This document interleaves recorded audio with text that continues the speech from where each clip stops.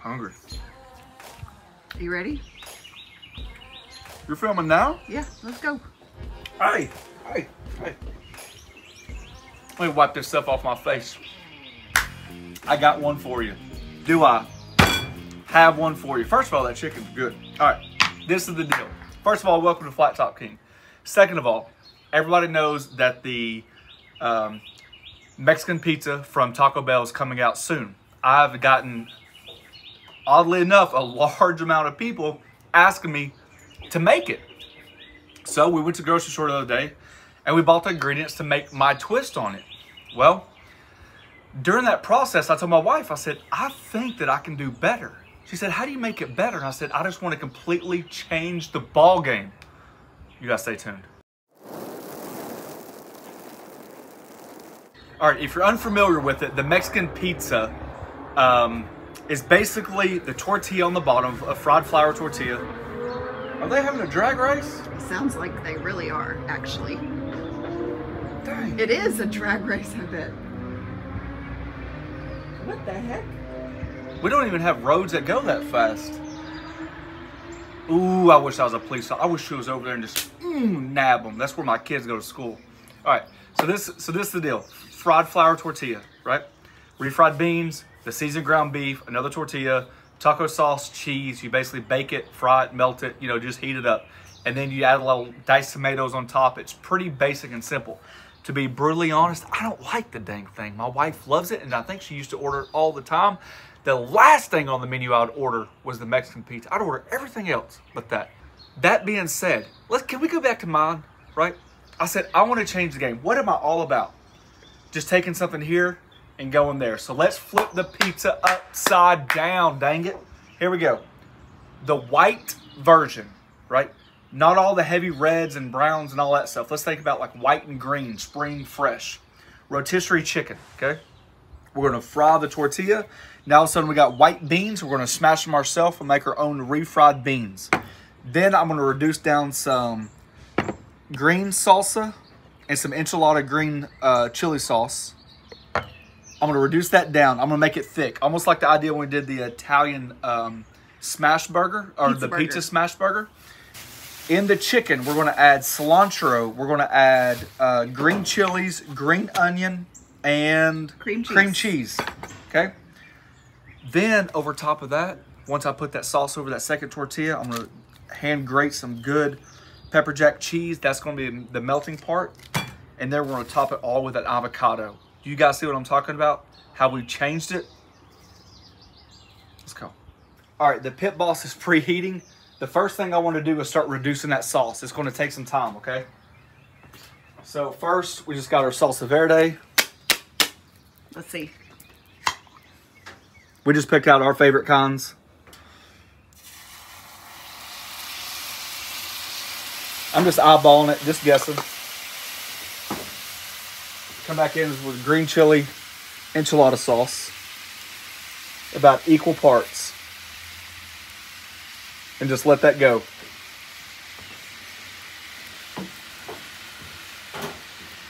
In this bowl right here, I'm just going to drain the beans. I have no idea how much moisture it's going to take. So, I'm just going to add the beans to here.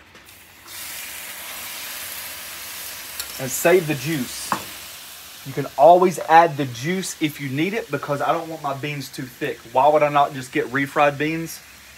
Honestly, I like them, but we've been doing this for a long time when we have our uh, Mexican nights and stuff. And I love making my own refried beans. I just like the texture way more than this. I like it a lot more chunky. So that's why I do it. All right. And they're way more flavorful because we add all the goodies. That's true. All right, I'm to use the Southwest barbecue rub. I know it says barbecue, but it's definitely got more of the, the Mexican style tang to it. And I'm not to overpower the beans. I'm to let the beans speak for themselves, but I just want to enhance the flavor a little bit. About that much. We can always add. I'm to add some onions down to try to get some flavor out of them. Try to get that char. That's what we're to add to the beans. I might not have mentioned it in the ingredients list. But that's the idea. Let's get some char on the on the onions.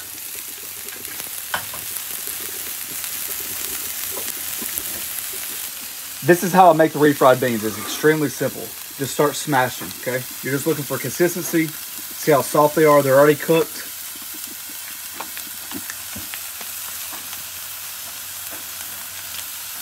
And this is obviously my first time trying the white bean method. Pinto beans we do all the time, but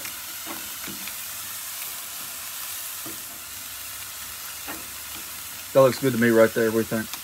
See, I like them chunky. If you guys don't like them chunky, keep smashing and smashing and smashing. I Ain't gonna hurt my feelings.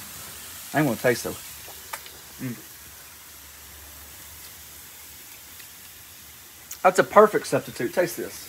Oh, it's hot. Hurry, hurry. Oh, that's hot. It's hot on the hand. That's good, Mm. right? That's Oh, a good dang. substitute. I told you. Those are super good. I told you. All right, this is what we're gonna do. I'm gonna get some chicken pulled off. I'm gonna dice some cilantro, some green onion. I'm going to cut my avocado. I'm gonna grate the cheese, get all the prep work done so you guys don't have to see it. All right, you see how nice and thick that sauce has gotten? That's what I'm talking about. Now remember, that's for two different, uh, two different uh, pizzas right there, okay? So look how thick that is. That's a good consistency right there. As for the beans go, when I was doing my rotisserie chicken, I went ahead and cut up some of that chicken skin that came with it. It was already reduced down. That fat had rendered out, but you know what I'm talking about. Like, if fat is flavor, we just added chicken skin to the onions. It's just all about flavor. Not a lot of juice, just a little bit. And that's the juice from the beans Yes. that we kept.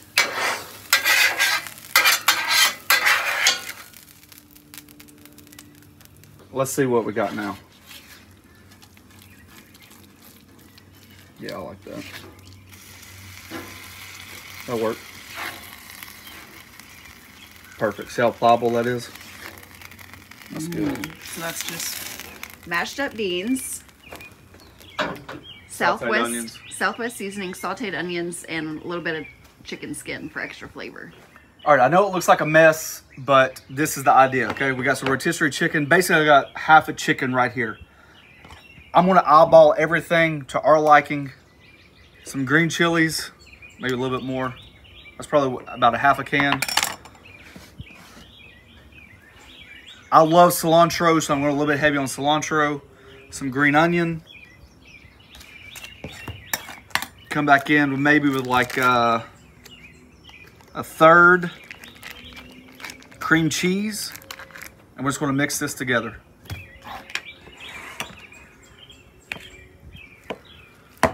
All right, the flat top's on low. Um, I'm going to just uh, lightly oil it. It's almost like the idea of a shallow fry. Just keep rotating and rotating and rotating. We're eating healthy today, so we're using the low carb. We use these a lot, and she did not want to waste. We got some really good videos coming up too. I mean, some good videos. Really good. I mean, some with lots of carbs. yeah. So this is the one that we can do without it. Listen, there's been a lot of speculation going back and forth. I kind of opened a huge can of worms in one of my videos. I'm going to use uh, metal utensil in my pit boss until otherwise. But if you're going to do it, you have to do it at your own risk. I'm going to address a little bit more deeper when we do the uh, another video coming very, very, very soon. Pros and cons of each griddle, and I can have more time to explain it there. But a lot of people have asked, is there somebody out there that uses metal? Uh, what if we use metal? And I thought, heck, I'll do it. What the heck? So, but you have to do it at your own risk.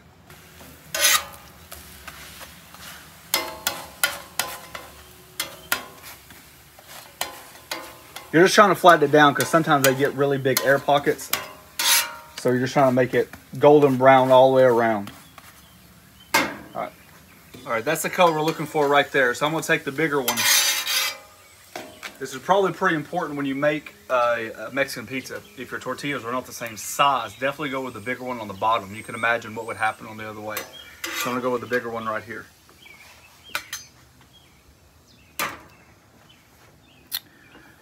All right, what are we doing? The cheese, the bean mixture. which is fantastic. Now she asked me, "What does the chicken mixture taste like?" So I so we tasted it off camera. It is a light tasting uh, flavor. It's like light. The cilantro really comes through, um, but the beans have a lot, lot, a lot of flavor, and that's why I didn't want the to overpower with the chicken, because I don't like everything tasting the same. So obviously you're going to add as much as this stuff as you like. I love beans, so. All right, there's the idea for that one. Come back into this chicken mixture. And we did actually end up adding half of the block of cream cheese. Good point. We added Yep. more cream cheese. I forgot about that. I told her four times I was going to tell you guys. She said, "Don't forget, don't forget," and I forgot. You could just eat that chicken mixture by itself. it's really good. Like a Mexican chicken salad. There you go. All right. Woo!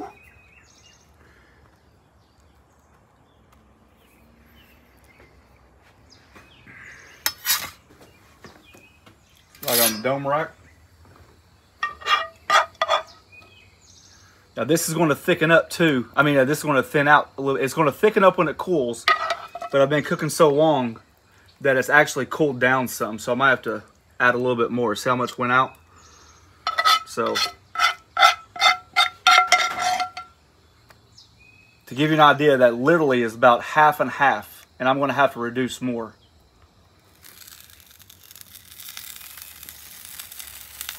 Now that is the Fiesta pepper jack cheese. Yep. Which is super good. Yep.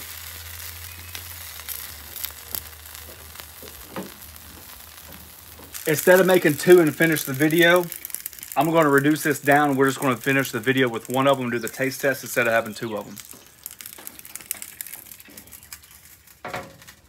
Woo! Look, our sauce is already starting to reduce. Look at that bad boy.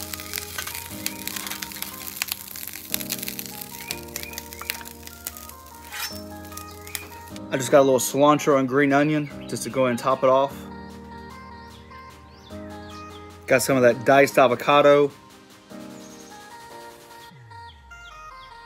I don't know about you, but when I say I love food and I love thinking outside the box and I love to do things my way, I've always said since day one, food is so subjective. It's perspective. It's what you want to eat. And this is what I want to eat. Oh yeah. You ready? Who doesn't want to eat that? Hear that crunch? So if somebody says you can't get crunchy with low carb, that's not true. Somebody says you can't get lucky after making one of these pizzas, that ain't true either. God, let's see. Mmm. This for all those people out there that like a chicken Alfredo pizza. My dad loves them things. Mm.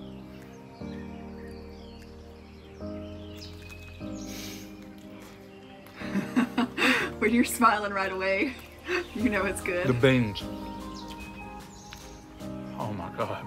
And those beans are only like four ingredients if you count the chicken skin and the onions. Oh, I forgot about the chicken skin, yeah.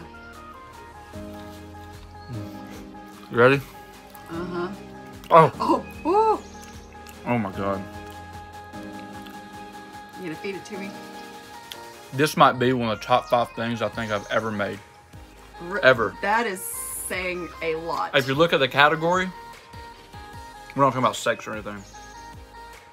I know you made Here. the absolute best freaking steak two days ago. Mm. But be honest with them. They don't don't oversell it.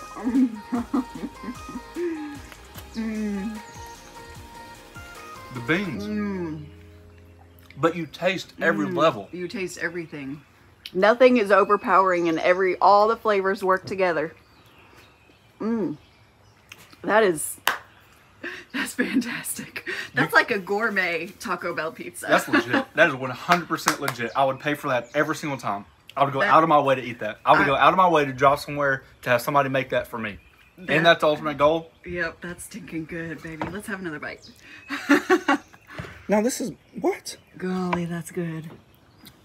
When somebody tells me to make something, I take it to heart. I might not make it right away, or I might say, mm. But when something gets on my mind, Golly, it's good. okay, wrap it up. Time to eat. thanks for watching. Don't forget to press that subscribe button, pound the notification button. Find us at the Griddle Group on Facebook. Share your ideas, and maybe your idea can be put on here. Peace.